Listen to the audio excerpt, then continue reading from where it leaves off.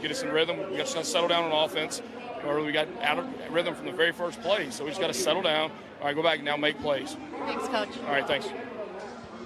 Ironically, Tim, settle down. You said it a minute ago. Brent Key sees the same thing, right? But sometimes it's just getting a quarterback run going to settle a quarterback down, and it happened. Yep. So the Jackets are going to have the football. Second down as we start this second quarter, trailing 14 to nothing.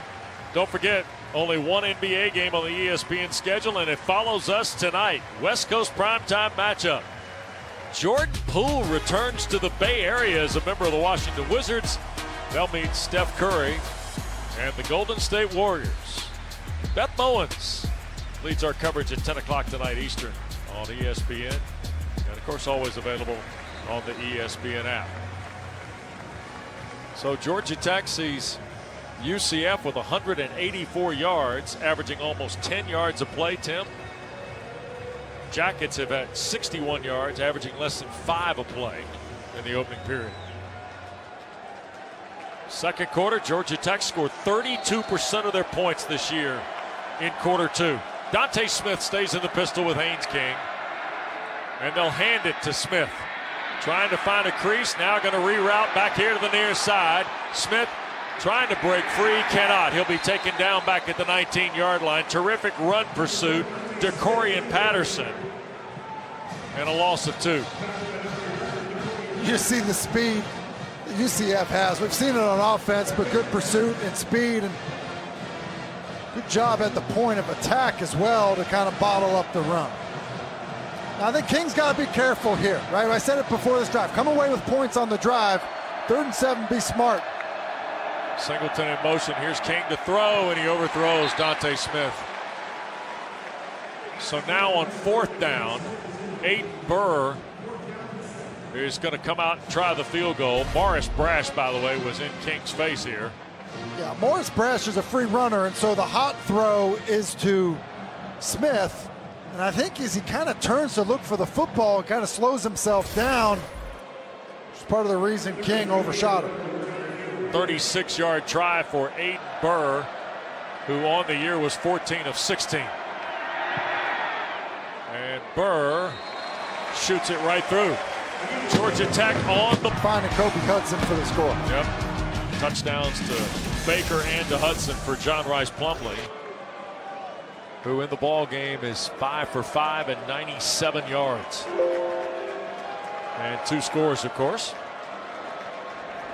There's Harvey flexing back to the left hip of his quarterback. And Baker the catch on the perimeter, and Miles Sims wrapped him right up.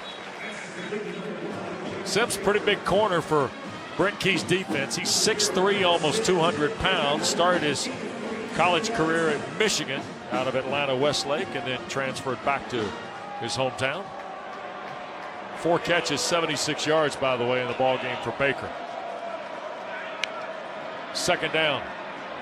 Plumlee misses Harvey, and Moala got him on the shoe tops and drops him back at the 30.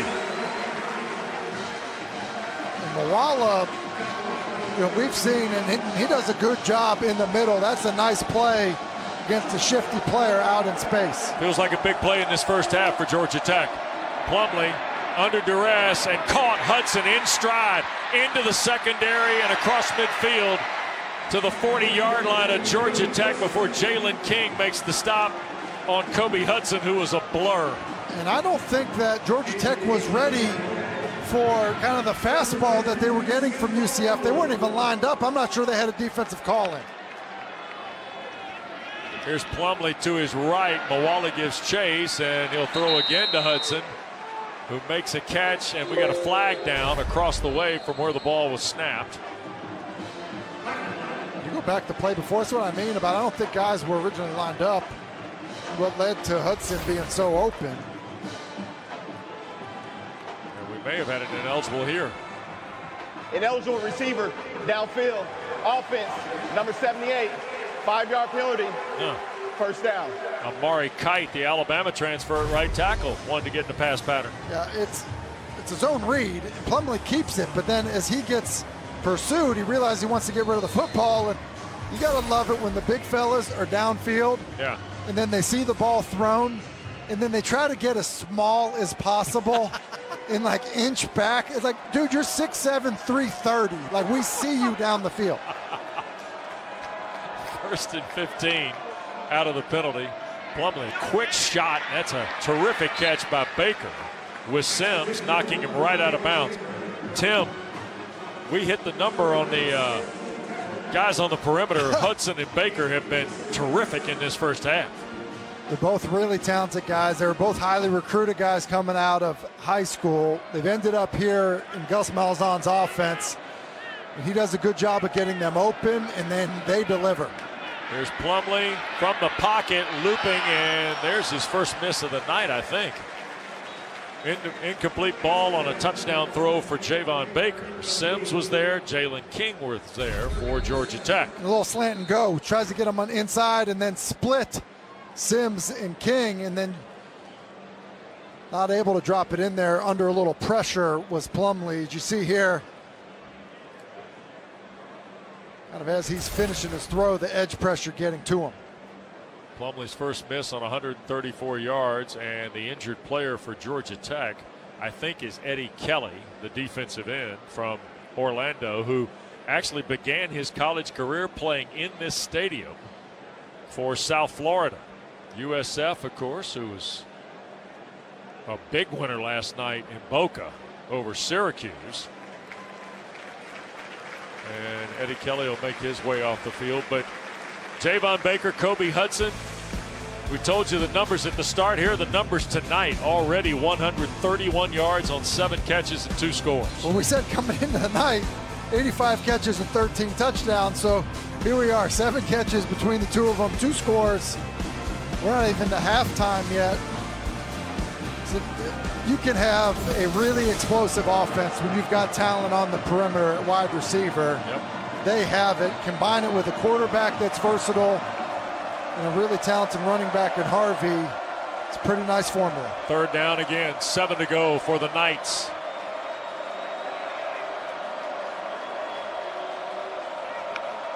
That's Pittman, the tight end, in motion out on the perimeter. Now Plumlee escapes to his right, looking, trying to get to the first down number, and will dive out of bounds, but I think he's short by a yard or two. They're going to mark him a yard shy at the 31, but wouldn't be surprised if Malzahn went for this. I'm just going to say this. At this time of guys, you know, opting out of things, go get it, John Rice Plumlee. Yeah. You know, just go out and compete. That right there is an outstanding effort. Gives them a chance here to go for it on fourth down. RJ Harvey in the backfield with him. They're 12 of 20 on fourth down during the regular season.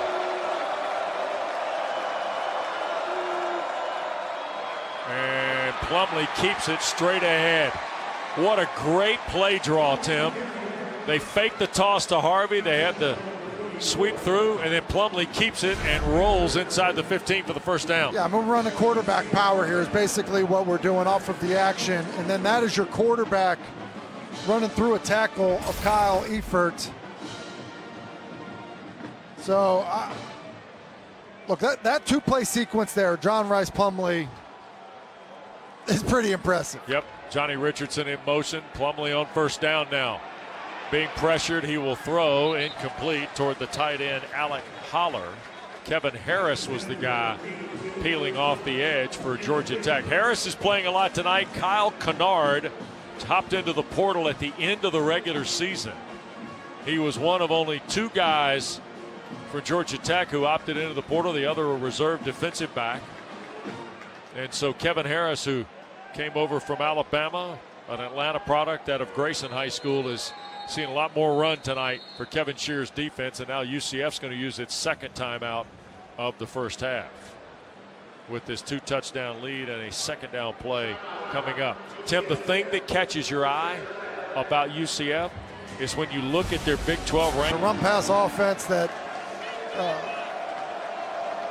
you know, the quarterback is making decisions, which is why they're really rarely running into bad looks. By the way, the Knights on third down and five here. And we had a little he said, she said go on between the right guard and the uh, defensive lineman Lockett. And you can imagine where each team stands on the guilty version here. It looked like that Paole, who's at the right guard spot, reached out and hit Lockett after he thought Lockett moved. Offside. Defense. Number 55. Five yard penalty results in a first down. Here it is. Just watch. So lock it. okay, there's that. And then Paholi just, okay, I'll touch you, and therefore they'll throw the flag on you for doing that. And you're never quite sure it's going to finally fall that way, Tim, but you feel good about it. When it does. Yeah. 10th play. First and 10. Inside the 15. Plumlee, quick throw. And Townsend trying to make a move, and the Jackets rally to the football.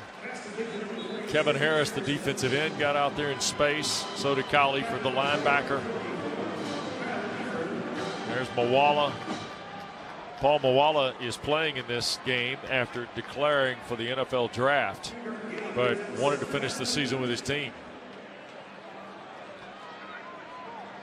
I think more often than not, those, those are the right decisions. And I think that, you know, obviously depending on your rating and your projection, Yep. most teams like to have the ability to watch it one more time. Second down, eight after a gain of two. Plumlee pumps, looks, now in trouble. Back to his left he goes with blockers. And he'll be brought down around the 10 yard line. Harris led the tackle charge with Efford for Georgia Tech. I think there was a bust here because Whittemore, the tight end, he's just going to run free. See the top of the screen? I don't think it got passed off correctly, and because of that, Georgia Tech's fortunate that, however, Plumlee was reading it all out, Right. wasn't able to see him. Yeah, Trent Whittemore, you're talking about only three catches on the year. Probably not designed to go to him as the primary. Hudson in motion. Plumlee looks right, shoots it in zone. Hudson there, stripped out, incomplete. Amari Harvey, who really kind of took a beating early in the ball game, in the throw game, strips it out of Kobe Hudson here. That's exactly what I was thinking because Hudson gets inside. Ball's well thrown in the hands of Hudson. But just a nice job of raking the football out by Harvey. So Boomer will come on to try the field goal for UCF.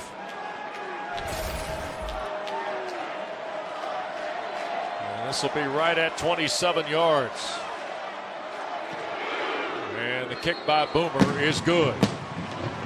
It's back to a two touchdown lead for UCF in the Sun Belt in Montgomery at the Camellia Bowl. And then on the blue turf in Boise. It's a terrific trip. Georgia State Utah State. Then we'll go to the 68 Ventures Bowl in Mobile tomorrow night, South Alabama. The home team there against Eastern Michigan. And then Coastal Carolina, San Jose State tomorrow night in Hawaii. Tampa tonight. And here is Leary to take the boomer kick at the five. Christian 20, 25, and out to the 26 yard line. Downstairs to Taylor Tannenbaum. Yeah, guys, when I talked to Haynes King this week, I said, What did you learn in year one at Georgia Tech? He said, Just to be in the moment. He said, Sometimes in football, you can get caught up thinking about the future and the what could have beens. But this year, he's made a more concerted effort to stay in the now, play one play at a time, one game at a time. That has given him more clarity. And, guys, he's going to need to channel that mindset as they try to now dig themselves out of this 14 point hole. Played for his dad at Longview High School in Texas. Of course, a journey from Texas A&M that started his career. Here's King looking for Singleton. First catch of the night for the freshman All-America, Eric Singleton now. DeCorian Patterson makes a stop, but that's a throw of eight. It took a while, but 13's finally announced his presence here tonight. And they need to get him the football. He's their most dynamic offensive player, and you know they usually do a very good job of just getting him guaranteed touches. Here's a throw. This is Dylan Leonard, the tight end. Uh-oh. Drop the hammer, and here goes number two for Georgia Tech. Nakai Martinez won't like the film on this. Dylan Leonard's a big man at 6'5", 240. Just catches this ball in the flat. A lot of times low man wins, but Leonard does a good job of staying on his feet. continuing down the field. Here goes Haynes. Now the run game opens a valve for Jamal Haynes. Eight, almost nine on first down for the converted wide receiver, Tim. You mentioned a converted wide receiver. Sometimes I remind myself of that when I see how physical he is between the tackles. So second down and one. Inside UCF's 30 yard line the 28 of the Knights now for Georgia Tech. Feels like Brent Key's team, in order to kind of stay within reach here, needs points. UCF has been so very impressive offensively and, for that matter, defensively. And what do we have now? Timeout asked for. I think the Jackets might have burned there first. Chris Weinke has the offense on the field. On the call, Buster Faulkner, the offensive coordinator, is upstairs. Weinke is the quarterback's coach. And of course, Brent Key, the man in charge of his alma mater. Well, Georgia Tech started on a Friday night, ironically, at home in Atlanta, playing Louisville at Mercedes-Benz Stadium this year. They ended up six and six. They had some unbelievable wins and some head-scratching losses, but just kept grinding, didn't they, Tim? Yeah, I think they hung in there, and I think kind of goes back to a little bit of what Taylor was just saying about Haynes King of kind of being in the moment. You know, some devastating losses that could, you know, turn one loss into another loss the very next week, but we've seen some good responses after some disappointing losses from Georgia Tech throughout the season.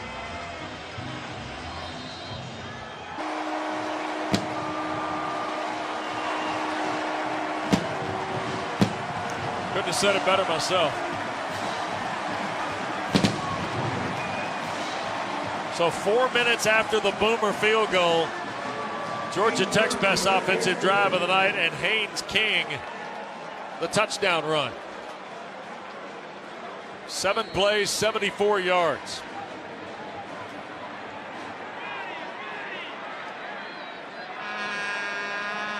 And Birr to make it a touchdown difference. Right? Sugar Oh. Bowl gets the Purple Dogs of the Northwest. Huh? I feel like Acho's always I got know gunned up. gunned up, yeah, but I mean, you know, Longhorns back in the Sugar Bowl building where they beat Georgia a few years ago. Sam Ehlinger that night. And no return here for Townsend and UCF. But boy, John Rice Plumlee has delivered tonight. He's gotten off to a great start. An excellent throw to Baker for the first score, and then puts together a 99-yard drive by, excuse me, 98-yard drive by getting off of his own end line by delivering a nice throw down the field. Been really impressed by him. Now, saying all of that, Wes, it's felt pretty one-sided at times with UCF, but just a 17-10 football game. Yep. 4.23 to go. One timeout for the Knights, two for Georgia Tech. And on first down, Plumlee wants to throw here. Pocket around him, pushed out to his right, and he's going to throw it in the bench area. Does Plumlee, did cross the line of scrimmage. He's one of his last five after hitting his first nine. You saw big Micaiah Scott close the angle on Plumlee for Georgia Tech. I think it was a good decision by Plumlee. He had a deep crossing route by Xavier Townsend, and the backside corner fell off of it. Probably had a chance for an interception had he pulled the trigger.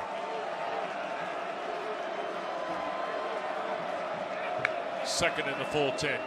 Faked the throw, now wants to run and then threw it out of bounds and threw it over the head of Richardson, who was the intended receiver. Heck of a catch by one of the GAs over there on the bench. And I think he was looking for a little wide receiver perimeter screen. Don't know why he didn't throw it right away. Should have, and you're not kidding. Got some hands over there. Yeah. Now listen, got to be careful. Third and 10, look at time on the clock here. Right. For as poorly as this started for Georgia Tech, got a real opportunity. Richards in the backfield.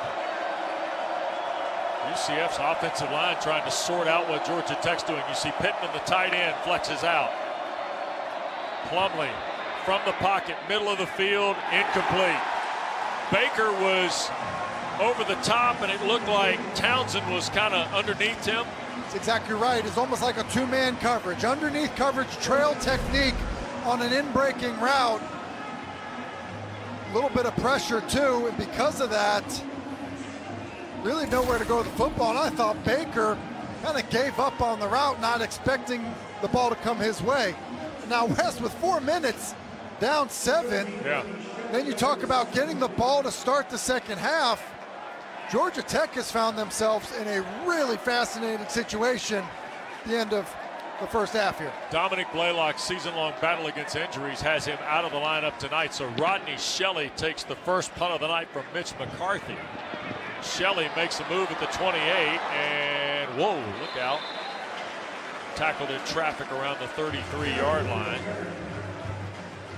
47-yard punt, a return of five.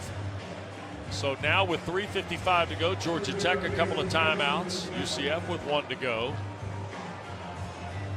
And now all of a sudden you see what was once a 14 nothing lead and then 17-3, Tim. Georgia Tech's going to have a chance to maybe close this half and perhaps tie the game. Hey, 14 nothing in driving the football, but it was the turnover caused you know, by great hustle from Horace Lockett to knock the football out. Yeah. And the play, remember Amari Harvey raked out. Look at Georgia Tech here.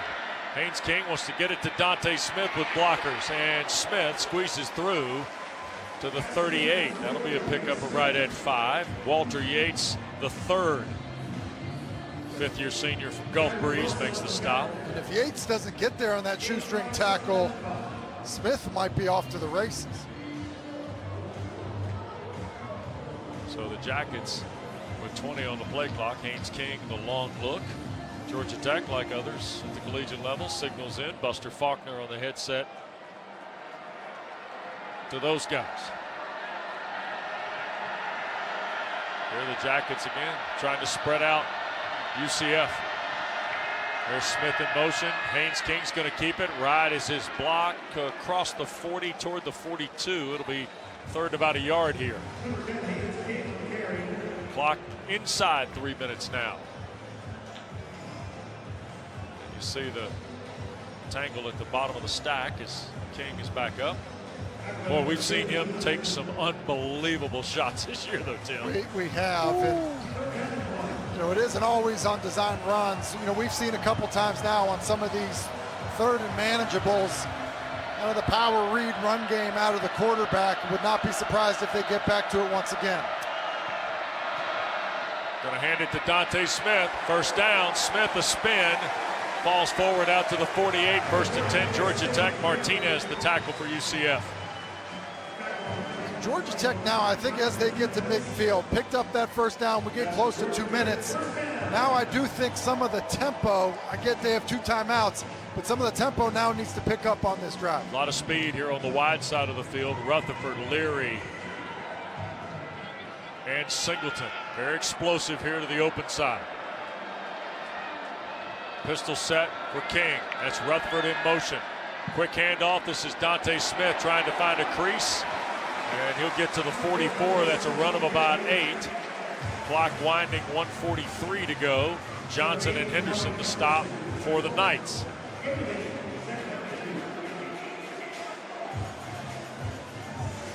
Second and short here. A little surprised they haven't taken a shot yet. I'm, su I'm surprised just at the pace. I'm fine running the football, but the pace while running the football.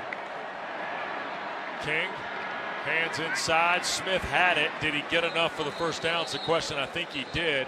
And that will stop the clock at the 41 with 118 to play. And I think while they do that and it stopped, like, go ahead, get your substitution and get a play called. Because now time, you're still outside the 40 yard line. Time's still a factor here. Yep. Two timeouts left for Georgia Tech, one for UCF.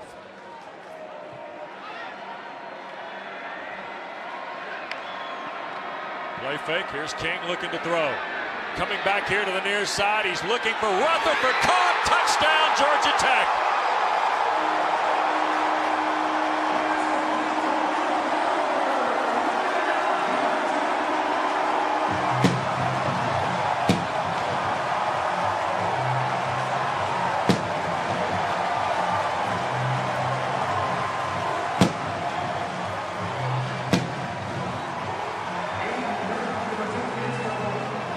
Is a great call after running the football a couple times by Buster Faulkner, and then an outstanding throw by Haynes King on an inside post to get to the near pylon. Aidan Birr to tie the game with less than a minute to go in the first. And the kick is good. Basically, they're going to run kind of a double post look with a deep cross. And it's this inside ball that Haynes King goes to. It's the first inside post that you read. And when he crosses the safety's face, if the backside corner chases, which he does, you throw it out there and let him run underneath it. That's really well done off of the play action. And I would say this too. Haynes King had run the ball a couple times in that drive. That's also difficult to be a good, accurate passer after you've been a design runner.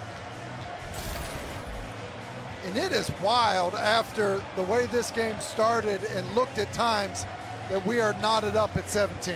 67 yards in six plays, 259. Brent Key's team locked up now with UCF at 17 all.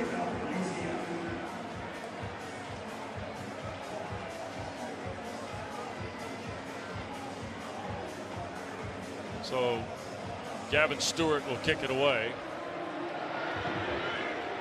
Trying to keep it away from Townsend, and Townsend will slip on the